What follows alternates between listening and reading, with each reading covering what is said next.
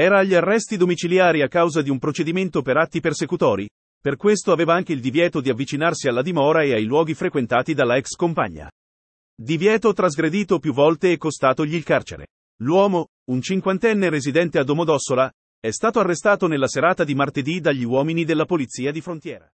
Scarica gratuitamente l'app News24 e leggi gratis i nostri giornali e se vuoi vedere tutto il video abbonati alla nuova televisione online e live 24 ore su 24.